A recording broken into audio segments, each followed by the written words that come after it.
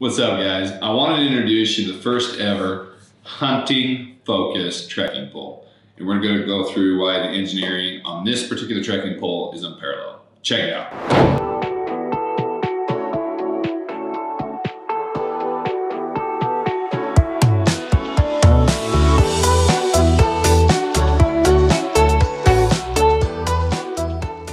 So this is a 7.4 ounce trekking pole engineered by hunters for hunters. And let me break it down for you. This shaft is made of 100% carbon fiber. Let me go through some of the ergonomics behind the design. So we have a cork handle here.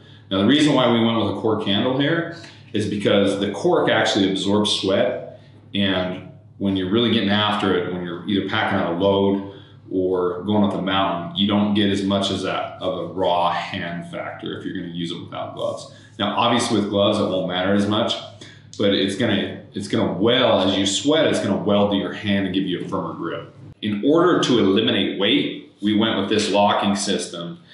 And if you twist it up tight, no matter what your load is, you're not gonna push through that. Same thing here with the bottom.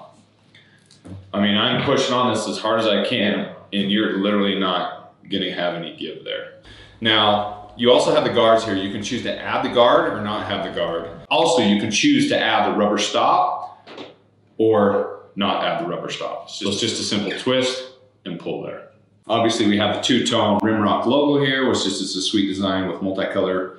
Um, and then also you have the regular strap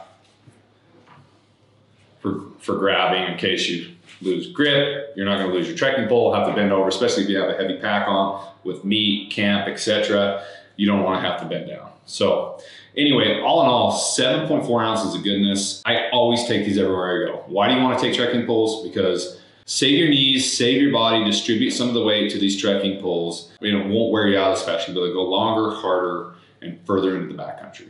So check out the all new Rimrok Klimbers on the Muley Freak web store. Pick up a pair, start packing these in your pack, keep them in the truck, take them hiking, take them training, in my opinion, the industry's number one trekking pole. Love these things.